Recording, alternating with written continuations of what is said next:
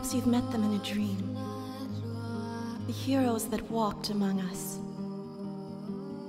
Their stories taught us how to endure difficult times. For generations, we looked to them for strength, for guidance. Journeys end, but stories live on.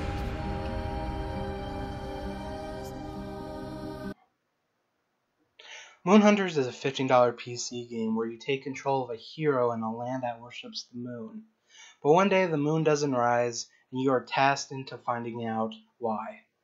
Or, you know, just stumble along the world because really no one points you in a direction. Now, before we get too far into the review, let me just state this game was kickstarted about a year ago. I backed it at $15. If you feel that makes my review biased, well, fair enough, but you may want to stick around anyway. The village gathered to feast and watch the moon rise. Everyone sang into the darkness to welcome the full moon. But she didn't rise. The singing stopped. Panic spread across the village. The game is an action adventure pixel based game where you choose a location on a map, uh, kill every hostile creature there, find the exit to the level, camp for the night, and in the morning you do it all over again. On these levels, you'll find events like giant footprints, uh, a talking crow that won't leave a tree alone, or random NPCs. And depending on how you interact with these events, you'll gain a reputation for your character. So let's talk about combat because that's what you're mostly going to be doing in this game. Each hero has three attacks. Uh, basic attack, an attack that can slow or stun opponents, and uh, attack that lets you move or teleport a distance on the screen. You can later upgrade these attacks through merchants that you find in levels. Now, the combat system in itself is pretty simple which is fine as long as what you're fighting is fun to fight. But I tend to find in Moon Hunters that most of the enemies kind of just charge at you. They were kind of easy to deal with by just slowing down or stunning them, and then just hack and slash them to death. Even the um, bosses in the game, while being a little bit more complicated, are easy to read and don't really change up their fight their fighting style the end boss itself is actually quite easy to kill. The few times I did die was usually due to uh, having a large horde of enemies or dealing with enemies that are kind of annoying. And the only punishment to dying is you lose some money and you go to the next day. So let's talk about the events that I mentioned earlier. Uh, you'll find people or things that you can interact with. You'll get two choices, and depending on which choice you choose, you'll gain a trait. So, for example, I once found this very nice blossom tree where I can either train under it and gain the proud trait, or I could meditate under the tree and gain gain the wise trait. Now, I tend I, I I tended to find that the traits did mostly two things. One, at the end of the game, you'll get a little story saying what happened uh, to your character after the final battle, uh, which is nice.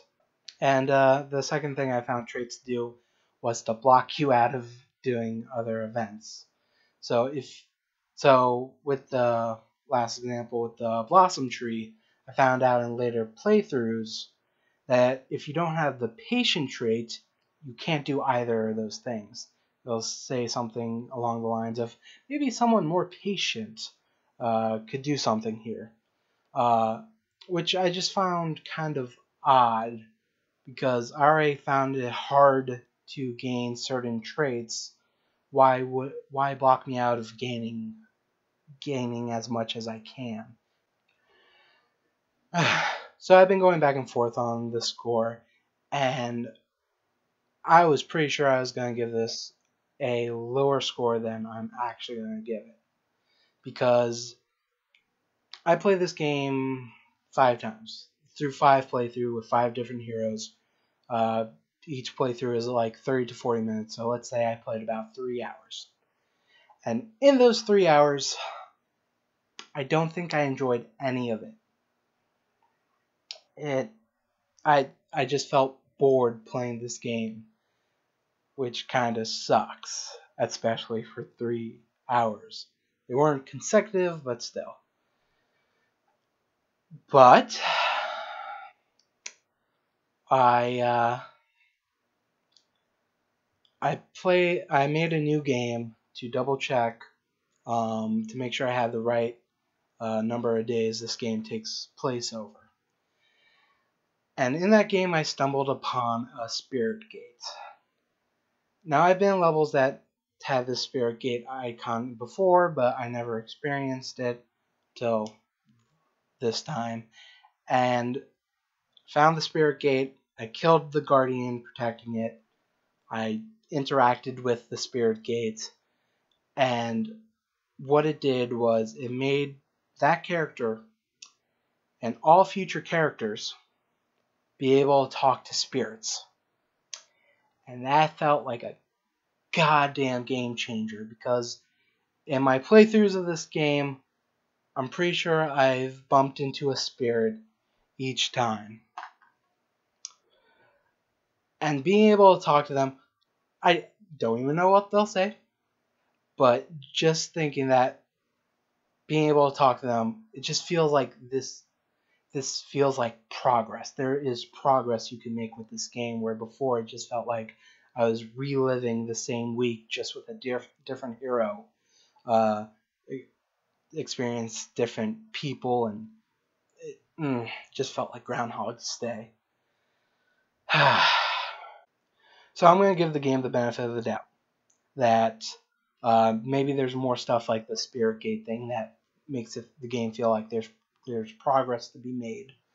Uh, maybe the multiplayer adds something to the game. I have not had a chance to try it out.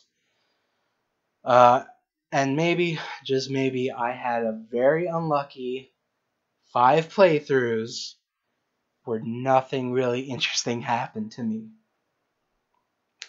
Now, with that said, I still feel like the combat system, the uh, trait system, and honestly, the game as a whole feels pretty basic, really.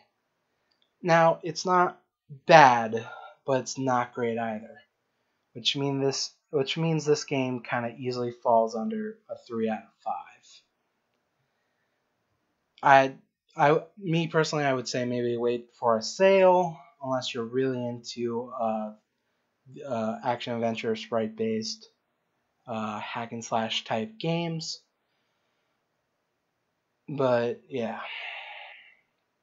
And even though I that last experience in my last game with the Spirit Gate, I don't think I'm gonna play any more of this game because I have more. I have other games I want to play, and I feel like they're gonna catch my interest a lot faster than uh, Moon Hunters did.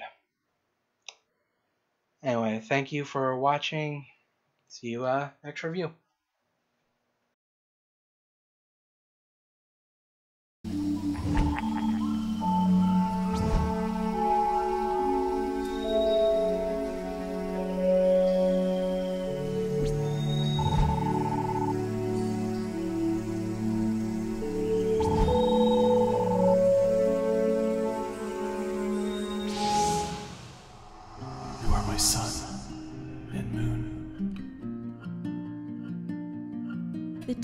never seen by the tribes again.